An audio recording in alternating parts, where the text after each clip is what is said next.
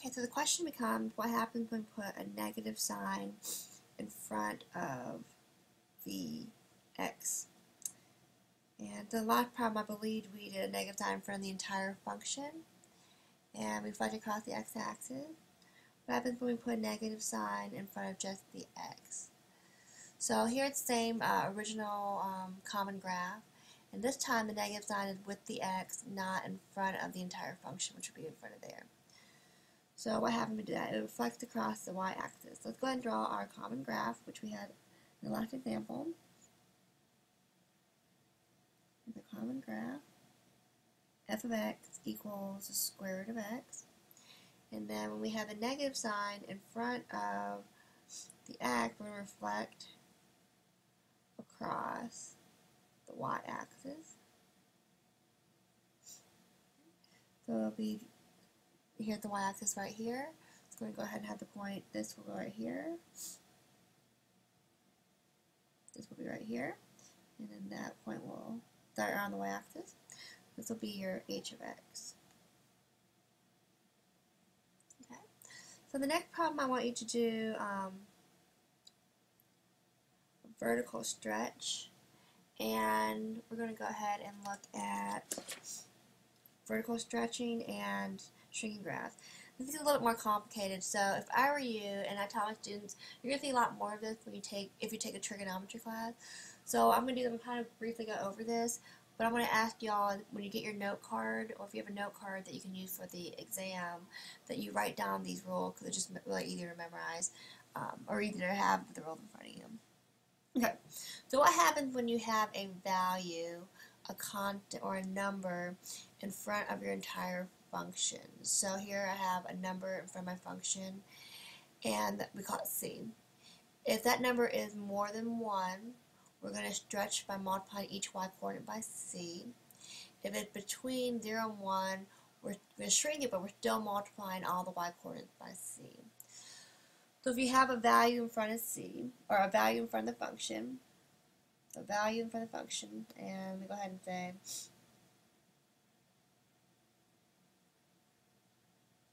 let's make this y equals. We have a value in front of here. All you're going to do is just multiply the y coordinate by see that. It doesn't matter if it's big or small, because all we're doing is we're going to stretch, we're going to see the stretch, stretching or shrinking um, as we draw our point. Okay, so here I have um, f of x equals x to the third power, and notice how I'm putting a value in front of that function. That one half is in front of the entire thing. Okay, so let's go ahead and draw our um, common graph. So here is x to the third, that there, and 2 to the third, 1, 2, 3, four, five, six, seven, eight. One, two, three, four, five, six, seven, eight. After I did one, too little. Okay. Then negative one, negative one. One, two, three, four, five, six, seven, eight. There's a common graph right there. Oops.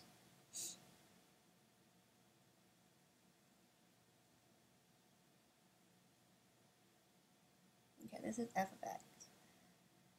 Now if we see, an, again, if we see a number in front of the function, we're going to multiply all the y coordinates. So we're going to multiply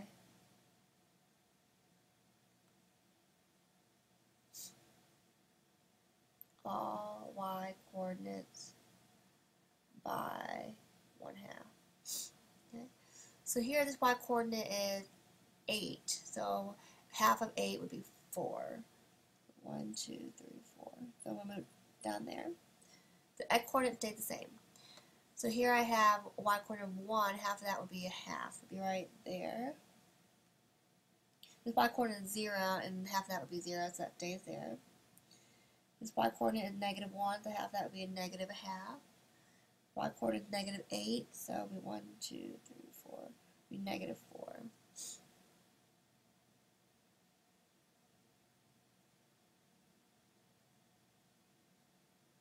And this will be your h of x function.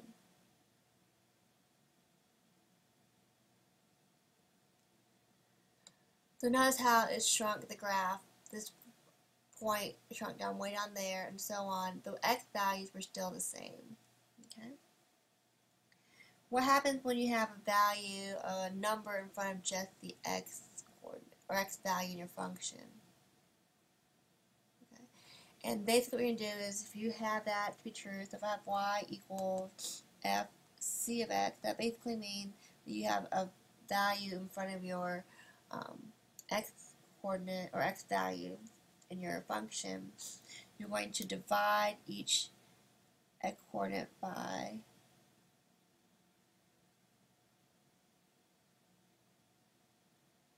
by that constant.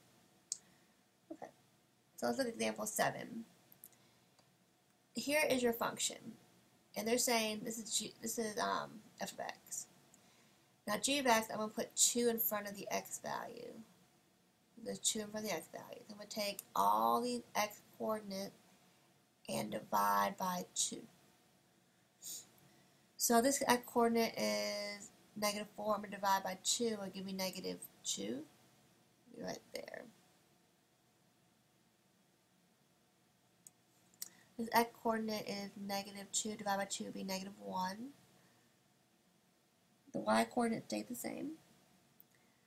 Um, this x coordinate is 0, divided by 2 is still 0, so it stays there. This x coordinate is 2, divided by 2 is 1, so it can move right there.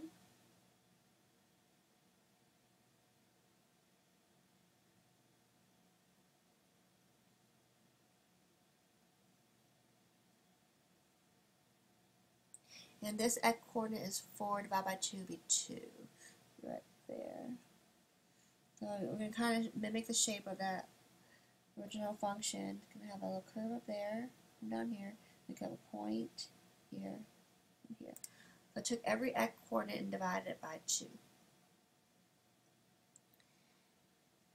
Now here's this f function here, and now I'm putting a half in front of there, so I'm dividing everything by half.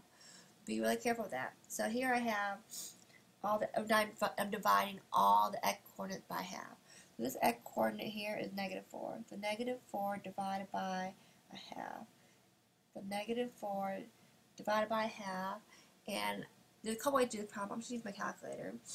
Or you can remember to multiply by 2 over 1. But I'm going to go ahead and use my calculator.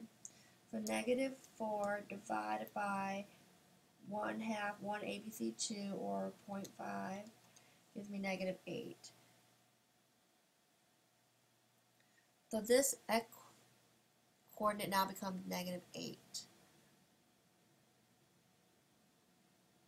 And the y value 0 stays the same. Negative 2 divided by a half. So negative 2 divided by a half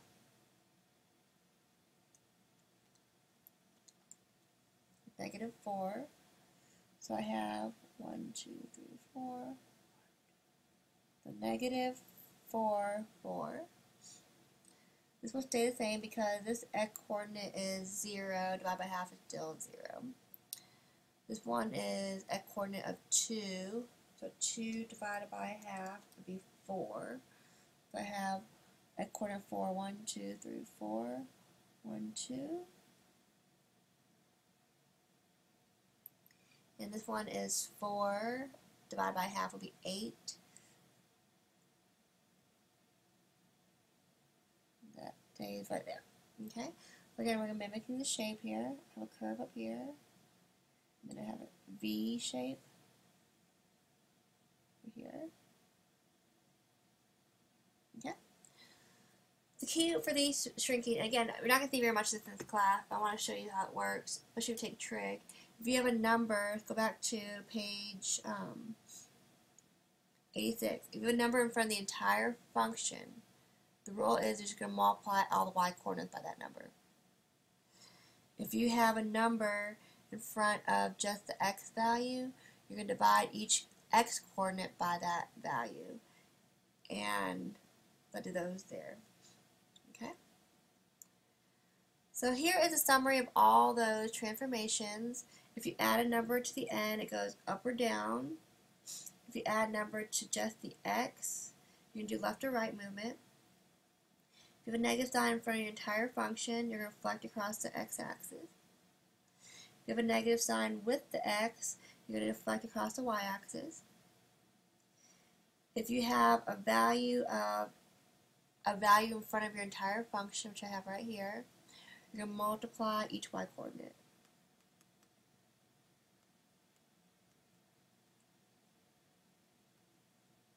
by that constant. If you have a number in front of your x, you're going to divide each x coordinate by the constant. Okay, so let's look at what happens when we have all these transformations or some of these transformations um, in a problem. So we want to make sure we follow a certain order, kind of order of operations. So if you have transformations you want to always do your horizontal movement first.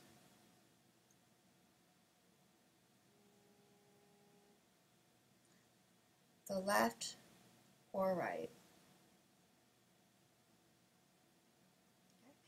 So to look at that um, left or right movement. Then you're going to look at stretching or shrinking. I'm stretching wrong. The S T R E TCH.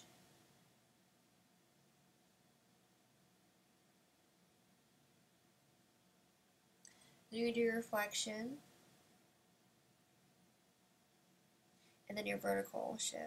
Vertical is the up or down movement. The easiest one that a lot of students remember is the up or down movement. You do that last.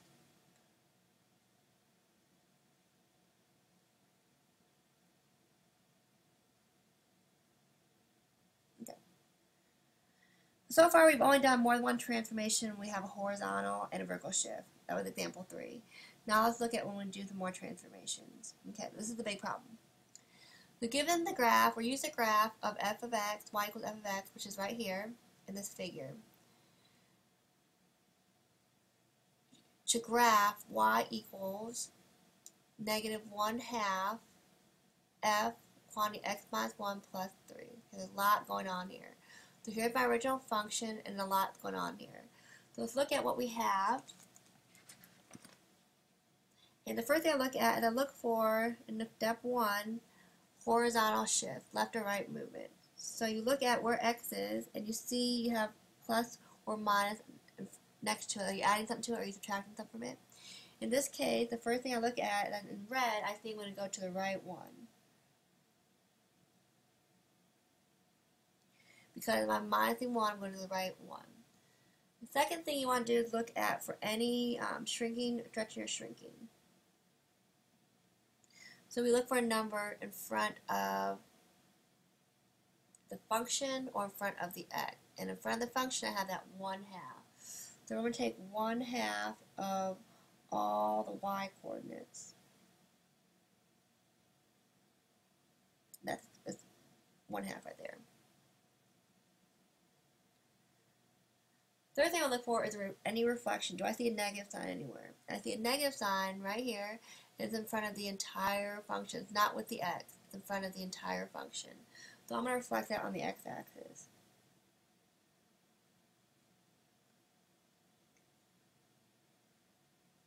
And that's, that's in green. And I'm doing color coordination, so every arrow I have here matches with a step here. And the last thing is, is the easy thing left to see is do I have a number add on or subtract at the end? And that's right there. So I'm going to move up or shift up three units. Okay. So I'm getting ready to run out of time here. And so I'm going to go ahead and stop the video and it'll start right from here in the next part.